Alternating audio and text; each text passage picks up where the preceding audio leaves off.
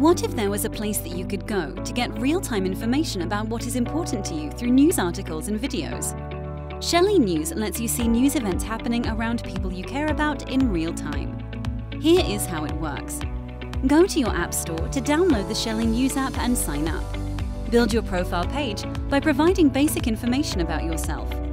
Complete the sign up process by synchronizing your contacts and friends from your phone book, as well as from other social media platforms such as Twitter, Facebook, LinkedIn, Instagram, and others. Stay informed on what is important in real time through the Newsfeed feature. Shelly provides users with a feed of news articles that are each geotagged with the names of the user's friends and contacts that live within 60 miles of the location where the news event occurred. Shelly News allows you to stay current on what is happening in your network, get notifications, chat and engage with others, and more importantly, see events happening around people you care about. There is no better way to see what is happening around the people you care about the most in real time than through Shelly News.